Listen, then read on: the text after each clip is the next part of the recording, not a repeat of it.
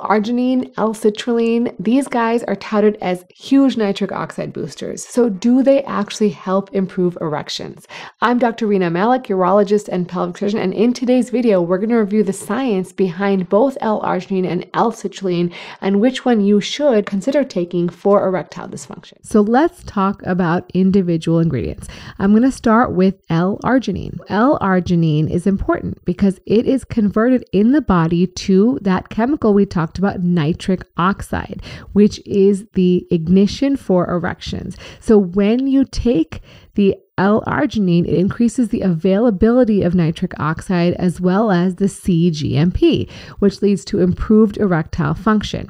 It then causes the blood vessels to open wider and increase blood flow. And interestingly, nitric oxide production is decreased in people who have injuries of those blood vessel cells or the vascular endothelium lining. And this is often caused by things like diabetes, heart disease, or atherosclerosis. And we find that people who have low levels of L-arginine or L-citrulline, which we're going to talk about later, have actually higher rates of erectile dysfunction. So, L arginine has actually been pretty extensively studied. There's been a meta analysis of 10 randomized controlled trials looking at L arginine, and they looked at a daily dose ranging from anywhere from 2.8 to 8 grams in men who have mild to moderate ED, and they saw that it improved erectile function compared to placebo. In a more recent randomized double blind placebo controlled trial, they wanted to specify specify what happens if you have mild to moderate versus severe ED.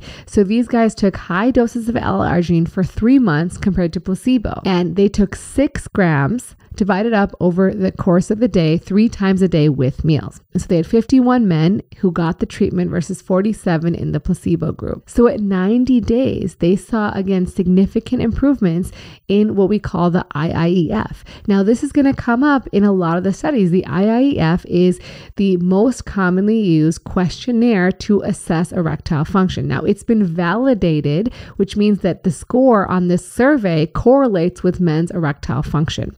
And so, this is sort of the gold standard used most commonly across all these research studies. So, it saw improvements in these scores, but it also saw improvements in peak systolic velocity, which is a measure of how quickly blood flows into the penis.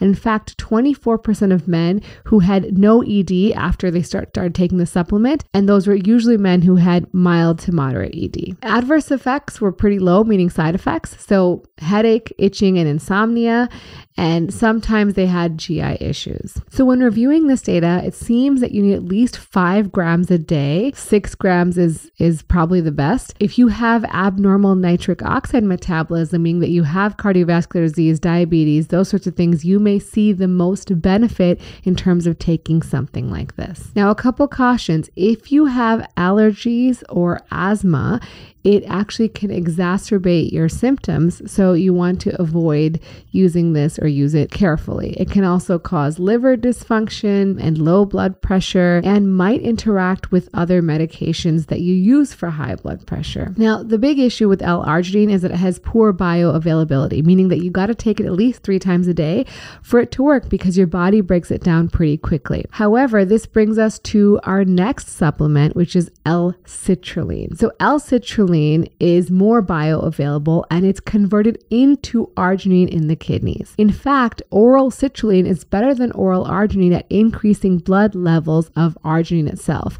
and it results in a more sustained release of L-arginine and avoids the enzymes that are in the intestines and the liver. And there may be some data that L-citrulline encourages penile muscles to release what's called VEGF or vascular endothelial growth factor, which improves blood vessel function and may restore healthy blood vessel function in the penis. There's not as much robust data on L-citrulline, but in 2011, they recruited 24 adults with, again, mild to moderate, what they called reduction of penile rigidity. They could penetrate, but it wasn't satisfactory. So these are not guys who are having trouble getting an erection, they just have a weak erection. And they assessed their erectile hardness after taking one and a half grams of L-citrulline divided into two doses for a month and they were actually their own control. So for the first month, they would take a placebo and then they would take L-citrulline.